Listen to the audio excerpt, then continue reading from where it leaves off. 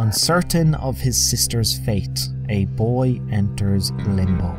This is the game's description and the only detail about the story available before starting. You wake up in a barren forest, alone. At first.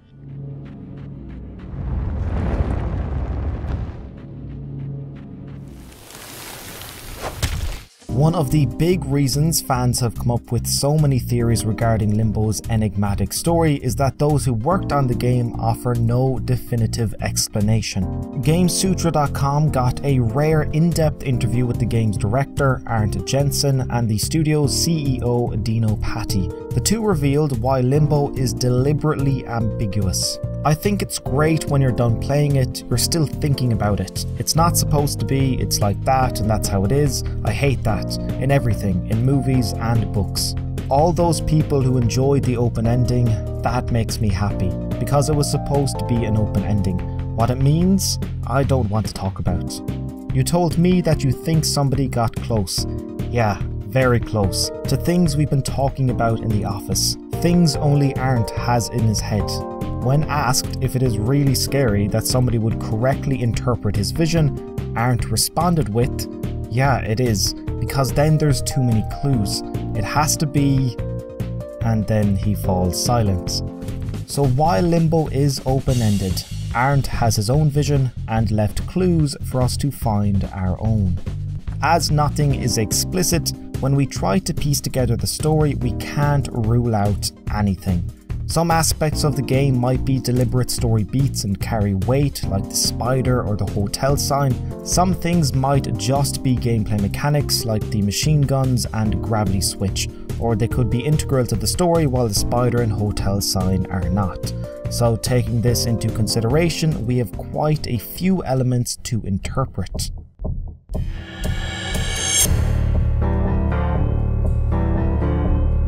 First of all, we have the game's name. Limbo was conceptualized by medieval theologian Catholics to explain what happens to children who die with original sin, Adam and Eve eating the apple in the Garden of Eden, before they were able to be baptized and forgiven. Parents were worried their infants were being sent to hell unjustly, and this notion of limbo was a way of putting them at ease. Limbo has also been theorized as a place for those who died in God's friendship but also sinned during their life. Somebody who is not good enough for heaven or even purgatory, but not evil enough for hell. They must wait for redemption by Jesus Christ. That would be the religious aspect of Limbo, but it has been interpreted across many different works, including Dante's Divine Comedy, in which it is described as beautiful and somber, in the Artemis Fowl series of books, Inception, and The Matrix Revolutions, it is a place in between worlds where people can be trapped indefinitely. Also, Limbo is a silly dance where people bend at impossible angles to shuffle under a bar. I don't think this will help us understand the story though. Uncertain of his sister's fate, a boy enters Limbo. This can be taken two ways. Either the boy is entering limbo voluntarily to save his sister as he fears for her safety, or something unfortunate happened to the two of them and the boy enters limbo without knowing what awaits either of them. The butterfly is seen at various points and often guides the boy in the right direction. It is a small detail that many players will miss or forget about once the game is over, but it is present at enough important moments to be significant. The forest bookends the journey and at numerous times infiltrates other settings. Its vast empty space can be taken as peaceful, offering a respite for the boy, or it could be eerie with only the sound of footsteps to keep the boy company. There is the boat which the boy uses to cross a sizable mass of water early on, a symbolic crossing into the unknown, perhaps. Bear traps are a constant threat in the beginning of the game and the first gruesome death most players suffer. A little bit later, these traps are used to trick the spider and they are also used by the people attacking the boy. The oversized spider is terrifying. After the first encounter, the spider will cocoon the boy, slowly hunt him, and almost trap the boy in a corner. However, the boy uses a boulder to crush the spider and several minutes later uses the spider's body to his advantage in crossing a bed of spikes.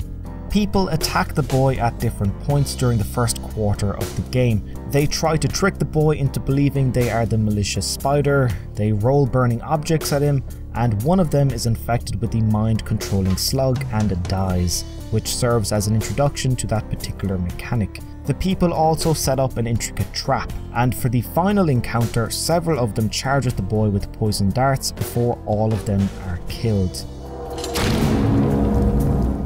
What you might have already noticed is how the boy is the only person whose eyes are visible. Everyone else, including his sister, lacks that feature. The eyes on the boy indicate two states of being alive and dead. Considering Limbo in mythology is part of the afterlife, this could be seen as those present in Limbo have eyes, those absent do not. While the boy is unable to swim, he does use rain to his advantage by flooding gaps he must cross or causing objects to rise with the water allowing him to reach higher places. Speaking of higher places, multiple times the boy finds himself on the rooftops, often sliding down the side of them as tiles cascade to the ground below. The neon hotel sign is imposing, deadly, and has an arrow the boy follows. It makes an appearance about a third of the way into the game and then again in the final 10 minutes, while flipped on its side. The boy starts in the forest, then goes indoors, to a sewer area, then giant mechanisms are present, and then back to the forest. Gravity is a tool the boy uses to navigate the world. It is introduced slowly through the moving of huge cogs turning over the level, before the boy has access to switches that instantaneously flip the worlds. Mind controlling slugs force the boy to change direction. This can be undone by walking into a bright light, and the only way to get rid of the slugs is to feed it to these chomping creatures. Lethal machine guns make an appearance in the final quarter of the game, and unlike most mechanics, the boy learns to manipulate them to his benefit immediately, using one machine gun to destroy the other. After completing all the puzzles, the boy breaks through this pane of glass immersed in light. While doing so, he closes his eyes before landing in a place quite similar to the one where he started his journey. In the final moments, the boy approaches his sister while she is doing something to the ground. When she senses his presence, she jolts upright, and the game ends. During the credits, the background fades in, revealing flies hovering where the boy and girl were last seen. The ladder is rotten with its lowest step barely hanging on, and the grass is now overgrown. There is also a structure that was out of sight in the final scene. It too looks to be in bad shape. Finally, we have death. Constant and horrific death. This world is infested by it.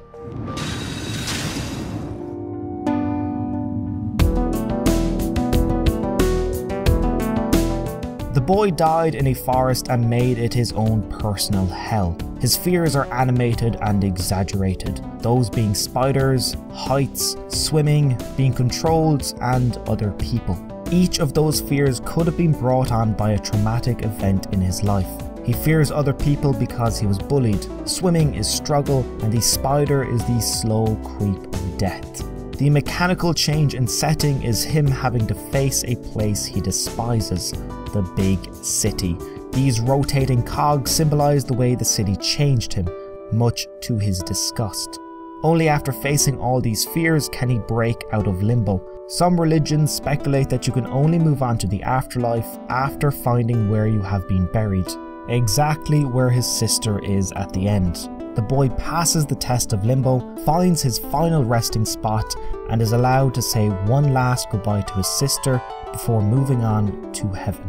The boy and his sister were playing in their treehouse, and when it collapsed, they both fell and died.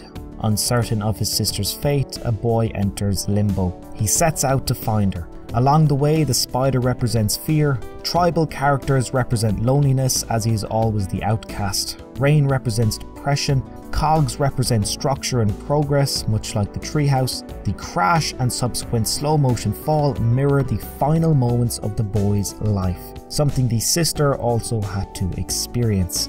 Upon seeing her, the boy and sister come to the same startling conclusion. Yes, they are both dead. They both go to heaven as the final scene has a white light shining on where they were. The boy and sister are near death after falling out of the treehouse.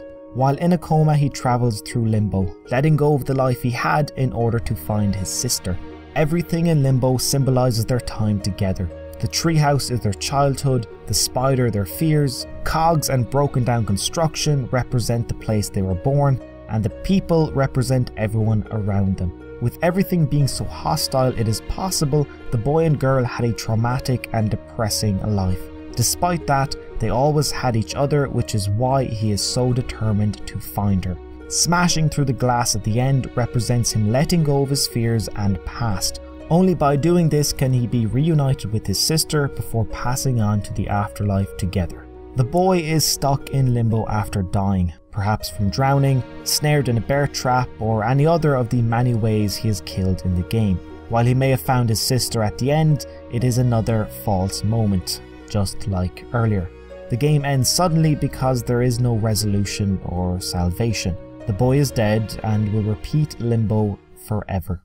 The boy and his family were moving house. Before he was able to put on his seatbelt, their car was hit by another vehicle, which is why he is afraid of other people. After being hit, the car crashes into a lake, explaining the water, and he wakes up in limbo. The boxes around the place are moving boxes. He may also have been flung through the windshield, which is what the final puzzle represents. Only after he overcomes all obstacles can he see his beloved, grieving sister one last time beneath the treehouse they used to play in before moving on to heaven. While travelling together, the boy crashed and his sister smashed through the windshield and died. Consumed by depression, he takes his own life and enters limbo voluntarily. He reverts back to being a child as life was simpler and happier when he and his sister would play together. The spider represents fear. The people attacking the boy represent the persecution of others for causing his sister's death. He is constantly challenged and must break through the glass to feel what she felt. Repeatedly dying is also part of his punishment. When he finally finds his sister, she is playing under the treehouse, a favourite place of their childhood. His sister goes to heaven, but he doesn't because he took his own life, a mortal sin. What gives credence to this theory are the boy's glowing eyes. Everyone else is stuck, only he is there with a purpose to rescue his sister. As her eyes are also not glowing, she doesn't realize she is dead. He is traveling through her life, not his. He encounters her fears, her faults, eventually meeting her in a place she takes comfort. When she senses his presence, she realizes she is indeed dead and joins him in heaven. This is a spectacular theory by Jake Vander Ende. I apologize if I mispronounced your last name, who thinks Limbo is a wordless retelling of Dante's Inferno, which opens with Midway along the journey of our life, I woke to find myself in a dark wood, for I had wandered off from the straight path how hard it is to tell what it was like. This wood of wilderness, savage and stubborn, which in the very thought renews the fear. A bitter place, death could scarce be bitterer, but if I would show the good that came of it, I must talk about things other than the good. How I entered there, I cannot truly say, and everywhere I looked, the beast was there. Jake theorizes that the spider represents the Cerberus, who guards the third circle of hell, gluttony. His reasons are it is the first and only huge monster you ever see, just like the Cerberus in Inferno. In order to defeat the spider, you have to roll a giant boulder into its head. In order to get past the Cerberus, Dante had to hurl wet earth into its mouths. The act of introducing earth to the beast in order to pass is essentially the same. Very soon after you defeat the spider, you activate a weather machine that makes it rain. Afterwards, you flee into caves and wet marshlands. The third circle of hell is marked by brutal, icy rain, and the fifth is marked by swampland, mirroring the transition and timing almost identically. Crossing the water in a boat at the beginning of the game ties into the idea of circular progression. Waking up in the forest, crossing Acheron, encountering the spider Cerberus in the third circle, and entering the fifth circle of swamps and anger. Remember that butterfly I mentioned earlier in the video? It could represent Virgil.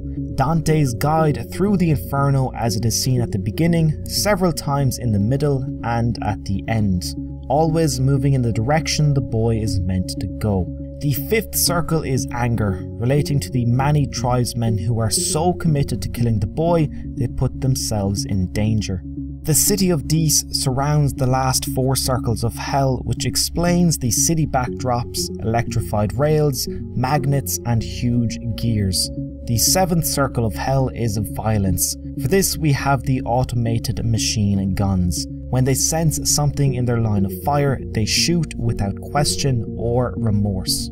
The boy continues down the circles of hell and passes through the last two circles fraud and treachery. Because of this, it is possible the sister was the one that killed the boy, and this is a revenge story. He is dead at the start of the game, crosses the river Acheron, escapes through the circles of hell. When the sister senses her brother, she suddenly realizes her dire fate. Another possibility is that the sister has already made it through hell and is waiting for her brother before guiding him to heaven. It is a fantastic theory, and I'll put a link to it in the description. Years after the release of Limbo, people still go back and forth regarding its story. With so many clues available, it is possible to come up with your own theory and have evidence to back it up. In fact, the car crash caused by the boy theory is mine. Is it the correct one? I don't know, but I enjoy the speculation. I like how others can have their own interpretation and highlight things I missed, like Jake's Dante's Inferno theory. An ambiguous story wouldn't work for all games, but some have benefited from it, like the Soul series and the ending of The Last of Us. In Limbo's case, a mere two hour game got thousands of people to spend time exchanging ideas, coming up with theories, making videos like this, and reveling in the discussion. So by all means, if you have any of your own theories, please share them. And until next time, take care.